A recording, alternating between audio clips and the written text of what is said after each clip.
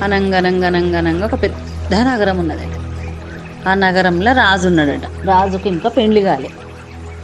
అయితే ఆయనకి ఎక్కడ పిల్ల నచ్చుతలేదట. చాలా నగరాలలో యువరాన్లను చూసిండట వాళ్ళ అమ్మా నాన్న చూపించిండట కానీ ఆయనకు ఎక్కడ అమ్మాయి నచ్చుతలేదు. అయితే ఎక్కడికో వేటకు పోయి వస్తుండడు కొంతమందితోటి సైనికులతోటి వేటకు పోయి వస్తుండడు వస్తుంటే గొర్రెల మంద వస్తుందట.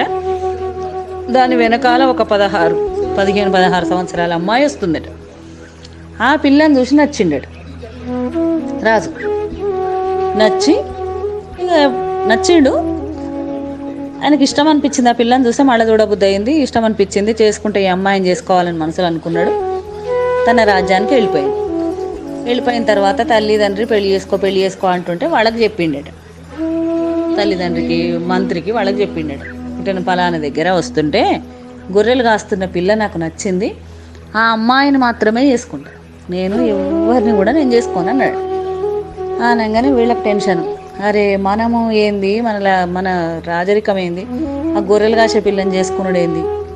కానీ వీడు ఎవరిని చేసుకొని అంటున్నాడు కదా. చూద్దాం ప్రయత్నం చేద్దాం అని చెప్పేసి ఆ పిల్ల దగ్గరికి మొదలే గొర్రెల కాపరే కదా. ఇట్లా వట్ట కాకితో కబుర కబురు అంపితే వస్తుంది అని వాళ్ళు అనుకున్నారు. అనుకొని ఎవరినో ఒక చిన్న వాళ్ళని పంపించిండాడు. పంపించి ఇట్లా మా రాజుగారు మిమ్మల్ని ఇష్టపడ్డాడు మిమ్మల్ని పెళ్ళి చేసుకుంటాడట. అంటే చీచి నేను ఇప్పుడు పెళ్ళి చేసుకోను. అయినా రాజుని చేసుకున్నాడు ఏంది నేను చేసుకోను అన్నదట అన్న తర్వాత వచ్చేసి రాజుకు విషయం చెప్పింది మంత్రిని పంపించిండట మంత్రిని పంపినా కూడా అదే మాట చెప్పిందట. నేను పెళ్ళి నేను పెళ్ళి చేసుకొని ఇప్పుడు పెళ్ళి చేసుకున్నాడు ఏంది అయినా ఈ రాజు కొడుకుని చేసుకున్నాడు ఏంది? యువరాజుని చేసుకున్నాడు. రాజే ఆయన ఇక. యువరాజు ఏంది? రాజే. ఈ రాజుని చేసుకున్నాడు ఏంది? నేను చేసుకోను అన్నదట తర్వాత తల్లి తండ్రి పోయిండట ఎందుకు ఇట్లా చేస్తుంది ఈ పిల్ల అనుకొని పోతే మీ కొడుకు ఏం పని చేస్తాడని అడిగిందట. రాజు తల్లిదండ్రితోటి ఈ పిల్ల ఈ గొర్రెల కాపరి పిల్ల అడిగిందట. అంటే వాడు పని చేసుడు ఏంది? వాడు రాజు. వానికి అందరు ఉంటారు. ప్రొద్దున లేవంగానే పక్కకే బట్టలు ఉంటారు. మంచినీళ్ళు మొహం కడుక్కోవడానికి అన్ని ఇస్తారు. టిఫిన్కి పెడతారు వాళ్ళే. తర్వాత స్నానం పోస్తారు. మంచిగా సుగంధ ద్రవ్యాలతో స్నానం పోస్తారు. బట్టలు కిరీటాలు విరీటాలు నగలంతా వాళ్ళే పెడతారు. తర్వాత భోజనానికి సిద్ధం చేసి పెడితే ఆయన వచ్చి తింటాడు. అటు ఇటు రాజ్య ప్రజలను చూడడానికి పోయినప్పుడు కూడా ఆయనకి ఏముంది? గుర్రం మీద ఎక్కిపోతాడు లేకపోతే రథంలో పోతాడు లేకపోతే పల్లకిలో పోతాడు. బొచ్చడు మంది సైనికులు ఉంటారు. వచ్చినాక కూడా అదే పరిస్థితి. వాడేం పని చేస్తాడమ్మా? అని అంటే ఏదన్నా పని చేస్తేనే నేను చేసుకుంటా. అంటే వీళ్ళు కొంచెం బతిరాడిండ్రు అన్నట్టు పోయి మా ఓడిని వేసుకో ఎవరిని వేసుకొని అంటుండు. ఆ పిల్ల అన్నదట ఏదన్నా పని చేసి సంపాదిస్తే తనంతలు తను ఏదన్నా సంపాదిస్తే నేను మీ అబ్బాయిని చేసుకుంటానండి లేకపోతే నేను చేసుకోను. నాకు రాజైనా నాకు అక్కర్లేదు అన్నదట. ఈ విషయం వచ్చి తల్లిదండ్రి కొడుకు చెప్పిండట బాబుకి ఇట్లా అన్నదామే అని. ఇక ఆ పిల్లానికి మనసులో పడ్డదట అరే నేను ఏదన్నా పని చేయాలి. ఏదన్నా పని చేసి సంపాదించాలి. అని అనుకుంటుండట. అనుకొని తివాచీలు తయారు చేసే వాళ్ళది ఇట్లా పోతుండట. ఏదైనా పని నేర్చుకుందామని చెప్పేసి గుర్రం మీద పోతుండట ఎవరిని దొరకపోకుండా పోతుంటే అక్కడ ఒక ఆయన తివాచీలు తయారు చేస్తుండట. తయారు చేస్తుంటే ఆయన దగ్గరికి పోయిండట. రాజని చెప్పలే ఆయన నేను. నేను రాజును అని చెప్పుకోలే. పోయి అయ్యా అయ్యా నేను ఇట్లా గుర్రం ఎక్కడో ఆపేసిండు పోయిండు నడుచుకుంటూ. మామూలు వ్యక్తి లెక్కనే నేను తివాచీలు తయారు చేసి నేర్చుకుంటా నాకు నేర్పించండి అంటే ఆయన కూడా మామూలు వ్యక్తి అనుకొని ఆయనకు నేర్పిస్తుండట. రోజు వస్తుండు రాజ్యంలో మొత్తం రాజరికం చేస్తున్నాడు పోతుండు సాయంత్రం పూట పోతున్నాడు అర్ధగంట సేపు అట్ల గంట సేపు నేర్చుకొని వస్తుండు. ఆయనకు మంచిగానే వచ్చేసింది ఇక. వచ్చేసింది ఆయన తివాచీలు తయారు చేస్తున్నాడు. ఆయన ఎవరైతే నేర్పిండ్రో ఆయన అమ్ముతున్నాడు కూడా. ఈయన తివాచీలు తయారు చేసింది. అయిపోయింది. అయిపోయిన తర్వాత ఈ అమ్మాయికి చెప్పిండ్రు ఇట్లా నేను తివాచీలు తయారు చేసి నేర్చుకున్నా ఇప్పటికీ ఇన్ని పైసలు సంపాదించిన అని చెప్పి మళ్ళీ వర్తమానం పంపించిండ్రు. అప్పుడు ఆ పిల్లకి నచ్చి రాజుని చేసుకుంది. రాజుని చేసుకొని ఆయనతో వచ్చేసింది. కొంతకాలం గడిచిపోయింది. కొంతకాలం గడిచిపోయిన తర్వాత ఈయన ఎందుకో వేటకు పోతున్నాడు. రాజు కొంతమంది వేటకు పోతున్నాడు. పోతుండగా పోతుండగా ఆయనతో ఒక దగ్గరికి పోయిన తర్వాత ఈ ఎత్తుకపోయే వాళ్ళు ఉంటారు కదా మనుషులను ఎత్తుకపోయేవాళ్ళు. వాళ్ళు వచ్చిండ్రట అక్కడికి. వచ్చి ఆయనతో వీళ్ళని రాజు అని చూడకుండా రాజు అని లేదు ఏం లేదు వాళ్ళకి ఇక మనుషులు దొరికితే చాలు.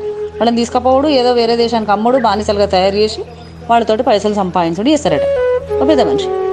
అట్లా ఆయనతో వీళ్ళని ఒక పది మంది దాకా ఉన్నారు రాజు కాక ఇంకా కొంతమంది ఉన్నారు అందరినీ బంధించేసారు బంధించేసి మిగతా కొంతమందిని ఆయనతో అమ్మేసిండ్రు అమ్మేసి రాజు దాకా వచ్చింది బేరం. రాజు దగ్గరకు వచ్చి రాజు దగ్గరకు కూడా ఈ రాజు అని తెలియదు వాళ్ళకి ఎవరో ఒక మనిషి అంతే. ఈయన దగ్గరికి వచ్చి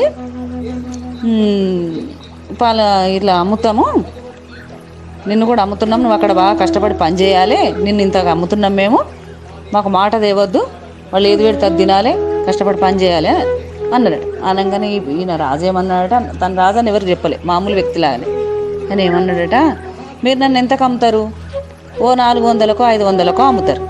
అయిపోతుంది ఇక. మీకు తర్వాత నా నుంచి మీకు ఏమీ రాదు. వాడెవడో నా నుంచి సంపాదించుకుంటాడు. నేను కష్టపడి అక్కడ సంపా- చేస్తుంటే వాడు సంపాదించుకుంటాడు. నాకు తివాచీలు తయారు చేస్తాడు. మీ దగ్గర మీరు సరుకు తెప్పించండి. నేను మీకు తయారు చేసి ఇస్తా. మీరు ఎంతకన్నా అమ్ముకోండి. నాకు ఏమి ఇవ్వకున్నా సరే ఎందుకంటే రాదు కాబట్టి ఆయనకు పైసల మీద ఆశ లేదు. మీరు నాకు ఏమి ఇవ్వకున్నా సరే అని అన్నాడు అనగానే ఆయనకు ఆ- అమ్మటి ఆయనకు ఏమనిపించిందట నిజమే కదా. మిగతా వాళ్ళు ఎవరు కూడా ఇక్కడ పని చేస్తామని వాళ్ళు అప్పుడే వెళ్ళిపోయారు పాపం వాళ్ళు. కట్లు కట్టేసిండ్రు ఆయనతో వాళ్ళని పంపించేసిండ్రు వీడు ఏదో అమ్ముతాడు తయారు చేస్తా అంటుండు కదా అమ్ముకుందామని చెప్పేసి సరుకు అంతా తెప్పించిండట. తెప్పించినాక ఆయనతో కొన్ని తివాచీలు తయారు చేసిండట. తయారు చేసి ఒక పెద్ద అట్లనే కొన్ని ఇక మొదలు స్టార్టింగ్లో ఏం చేసిండు? అమ్మిపించిండు ఎవరైతే మనుషులను నమ్ముతుండో ఆయనతోటి అమ్మిపించిండు ఆయనకు నమ్మకం కుదిరింది. కుదిరిన తర్వాత ఈసారి పెద్ద తివాచి తయారు చేస్తా ఇది రాజ దర్బారుకు పంపియండి పలానా రాజు అంటే వీళ్ళ రాజ్య ఏమంటారు దాన్ని? ఈ రాజు ఎక్కడైతే ఏ నగరంలో ఉన్నాడో ఆ నగరంలోకి పంపించమని చెప్పిండట. యువరానికో లేకపోతే తల్లిదండ్రుకో ఎవరి దగ్గరకో రాజు తండ్రి దగ్గరకో లేకపోతే రాజుకో ఏదో చెప్పిండు అన్నట్టు చెప్పంగానే అండ్ల పేరు రాసిండట. ఏం రాసిండు పైన? అర్థం కాకుండా గొర్రెల కాపరికి అర్థమయ్యేటట్టు ఏదో పేరు రాసిండట. భార్య గొర్రెల కాపరి కదా. తివాచి తయారు చేసిండు. ఆ తివాచిల్నే దారంతో ఏదో అర్థం వచ్చేటట్టు పేర్లు రాసిండు. రాసిండు ఇది ఫలానా దగ్గర తీసుకోపోండి మీకు చాలా పైసలు వస్తాయి అని చెప్పిండట ఇక బాగా పైసలు వస్తాయి ఇక వీడిని పెట్టి నేను మస్తు సంపాదించవచ్చు వీడి అమ్మందే నయమైంది అని ఆయన అనుకుంటుండు. పై తీసుకుపోయి ఎవరితోటో వాటిలో పనవులతోటి పంపించిండట. అది మెల్లగా రాజ్యంలోకి ప్రవేశించింది. అక్కడికి పోయిన తర్వాత సైనికుడు చూసిండు ఇది ఏదో కోడి భాషలాగా అనిపిస్తుంది వాళ్ళకి అర్థమైతలేదు అది. మెల్లగా అక్కడి నుంచి అక్కడికి లోపలికి పోయింది లోపలికి పోయిన తర్వాత అందరికీ తెలిసిపోయింది. ఇట్లా పెద్ద తివాచి అట అందులో ఏందో కోడి భాషలాగా ఉన్నది అది ఇదని. అది రాని దాకా పోయింది యువరాణి దాకా పోయింది. యువరాణి దాకా పోయింది పొంగన ఆయనతో యువరాణి తీసుకొని తివాచి బాగుంది నేను తీసుకుంటా అని చెప్పి తీసి చూసే వరకు ఏమున్నది భర్త చేతి రాతున్నది. గొర్రెల కాపరి అంటే ఈమె భార్య కాబట్టి ఆయన నేర్చుకునే శక్తి ఉన్నది కాబట్టి తివాచిని తయారు చేసి నేర్చుకున్నాడు గొర్రెల భాష ఏదో నేర్చుకున్నాడు. నేర్చుకున్న భాషను ఈ తివాచీలా అల్లిండు అన్నట్టు. భార్యకు అర్థమయ్యేటట్టు రాసిండు. నేను పలానా వాళ్ళ దగ్గర ఉన్నా నన్ను బంధించిండ్రు నన్ను అమ్ముదామని చూస్తున్నారు. మీరు ఎవరైతే మీకు అమ్ముతున్నాడో ఆయనను మీరు వెంబడించండి. వెంబడిస్తే అక్కడ నన్ను అమ్మటైన మీకు కనబడతాడు. అక్కడి నుంచి నేను మీకు దొరుకుతా. నా అంతలు నేను వస్తే వాళ్ళు చంపే ప్రయత్నం చేస్తారు కాబట్టి మీరే ఎవరన్నా రండి అని చెప్పేసి అందులో మొత్తం రాసిండట. ఆమెకు అర్థమైపోయింది ఆమెకి ఇక అర్థమైపోయి ఏడుస్తుంది ఇక అయ్యో ఎట్లా ఎట్లా అని. రాజు తల్లిదండ్రికి చెప్పింది అత్తమామకు చెప్పింది ఇట్లా అని. అనగానే ఆయనతో వాళ్ళు మంచి సైనికులను తీసుకొని ఎవరైతే అమ్ముతుండ్రో అనుమానం రాకుండా వాడిని వెంబడించుకుంటూ ఈ మెయిన్ పాత్రదారు ఉన్నాడు కదా వాళ్ళ దాకా మెల్లగా వెనకాల వచ్చిండడు రాగానే వాడు వచ్చి ఇక్కడ చెప్తున్నాడు అన్నట్టు. ఇంకా పెద్ద పెద్ద అల్లు అల్లితే ఇంకా రాజ్యంలో ఉంటారు అని చెప్తున్నాడు. ఆయనతో వచ్చి టక్మని వాళ్ళని పట్టేసుకున్నారు. పట్టేసుకున్నారు పక్కకే ఈ రాజు ఉన్నాడు. ఆయన దగ్గరికి రాగానే ఈయన ఎవరనుకుంటున్నావు? రాజు. రాజునే నువ్వు బంధించాలని చూసినావు అని చెప్పి ఆయనను ఎవరెవరినైతే అమ్ముతున్నారో వాళ్ళందరినీ విడుదల చేపించి రాజే విడుదల చేపించి వీడిని ఎవరు మెయిన్ సూత్రధారు ఉన్నాడు కదా వాడిని ఆయనతో బంధించి చెరసాల్లో పెట్టించేసి మళ్ళీ ఇట్లాంటి పనులు ఎప్పుడు జరగకుండా చూసిండట. ఆయన రాజ్యానికి వచ్చేసిండు. కష్టపడి ఆ రోజు తివాచీలు నేర్చుకున్నతోటి ఆయన బతకగలిగిండు. ఆయనతో పాటు చాలా మందిని బ్రతికించిండు అన్నట్టు. రాజైనా ఎవరైనా కొంచెం చేయగలిగే పని చేయాలన్నట్టు. తత కంచికే మనం ఇంటికి